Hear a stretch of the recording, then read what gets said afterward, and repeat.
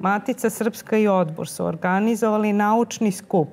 E, skup nije bio otvorenog tipa. Bio je zatvorenog tipa. Drugi naučnici i naučnice koji bi možda želeli da iznesu svoje stavove i kontra argumente nisu bili pozvani. Mislim da treba da učestvujemo i e, mi koji smo iz struke i aktivisti koji se e, bave ljudskim pravima, jer ovo je zajednička tema i e, rečeno je više puta da jezik nije ničija, prčija. Ovaj pojam rodno osetljivog jezika, kako tretiraju zvanične institucije koje se bave očuvanjem jezika, znate kako, stavljaju pod znake navoda sa onim tzv tačkice ispred, takozvani rodno osetljivi jezik.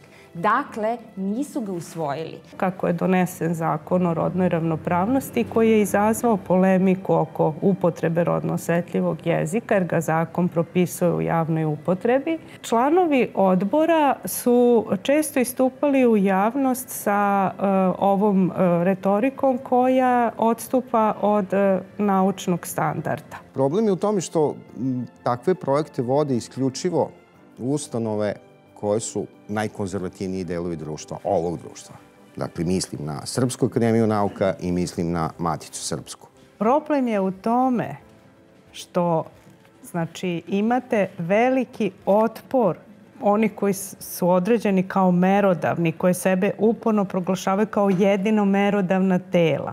Oni su potpuno izolovani od bilo kakvih kritičkih komentara. Imaju kontrolu često i nad ključnim medijima, mediji vrše cenzuru i drugi kritički komentari ne dolaze u javnost, niti se informiše o tome koliko je mnogo drugačijih stavova sa dobrim argumentacijama, potkrepljenošću, izvorima bilo e, e, održano u vidu javnih tribina, webinara, radionica i slično. Znači, ništa od toga nije ulazilo u javno informisanje.